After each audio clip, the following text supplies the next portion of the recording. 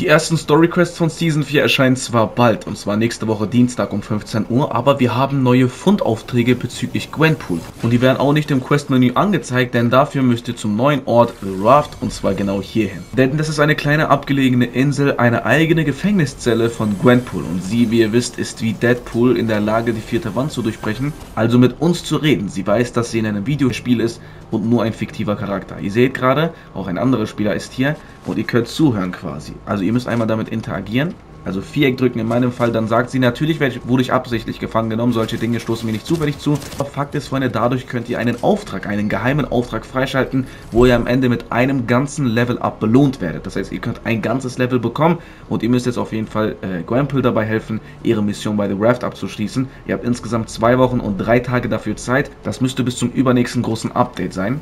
Ich bin hier, um Infos zu sammeln. Außerdem ist das hier auf der Insel der beste Platz für Camper. Also ihr seht, Freunde, ein sehr humorvoller Charakter, deswegen mag ich sie so auch sehr, genauso wie Deadpool. Hilfst du mir bei meiner Mission oder willst du nur meine Position verraten? Und jetzt müsst ihr einen ID-Chip von einem Handlanger und ihn zu äh, erhalten und ihn zu Gwenpool bringen hierhin.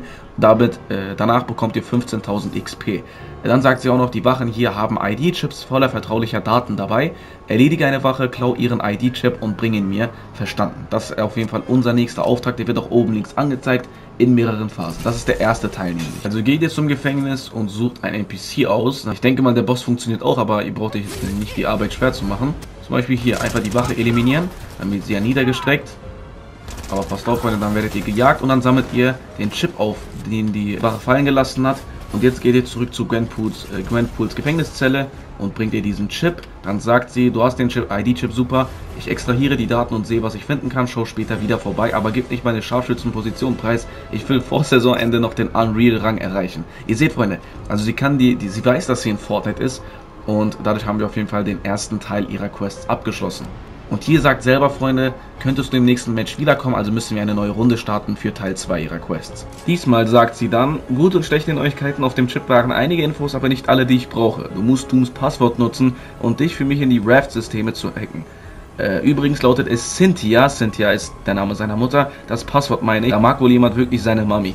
Und damit beginnt dann auch Phase 2. Diesmal müssen wir uns in einen Computer hacken und dann das Passwort eingeben. Das wird dann auch mit einem Ausrufezeichen hier oben markiert. Übrigens mit Season 4 gibt es wieder mal die Laserschranken, falls ihr das verpasst habt. Und hier ist einer dieser Computers, also müssen wir den Speicherstick anschließen. Und wir haben hier sogar Susan Storm als Passwort, also Sue, danach Valeria, das seine äh, Liebespartnerin ist, und Cynthia. Danach steht hier Willkommen Victor. Und Victor von Doom ist ja sein echter Name in den Marvel Comics. Und jetzt müssen wir ähm, zu Gwenpool zurück. Dann sagt sie, du hast den Stick und nichts darauf ist verschlüsselt. Ich dachte, der Typ wäre ein totales Genie.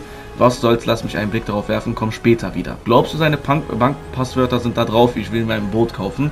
Und jetzt sagt sie auch wieder, wir müssen in, in der nächsten Runde wieder zurückkommen.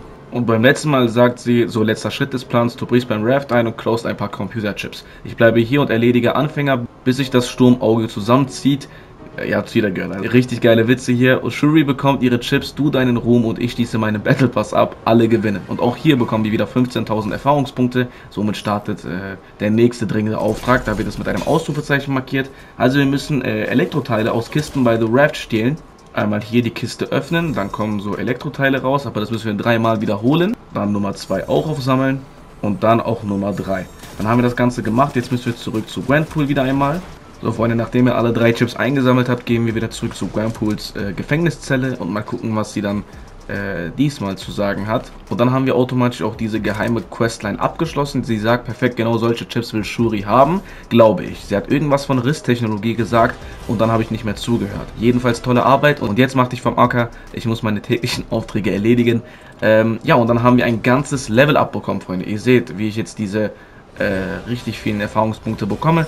Und das war's dann erstmal. Und tatsächlich hat es auch ein bisschen was mit der Story zu tun. Ihr habt gerade gehört, Risstechnologie. Das hängt ein bisschen was mit den Rissleuchtfeuern zusammen. Vielleicht will ja Shuri, die eine Verbündete von Hope und Jones ist und natürlich auch vom Orakel, also allgemein auf der Heldenseite ist, neue Helden vom Marvel-Universum auf die Insel holen, um noch mehr Verstärkung gegen Dr. Doom zu haben. Ist ja nur meine Vermutung. Wir werden das ja bald sehen, wie, wie die Story dieser Season sich entwickelt. Ich hoffe, ich kann euch helfen. Wenn ja, lasst ein Like da. Über ein Abo würde ich mich freuen. Und ansonsten noch viel Spaß in Season 4.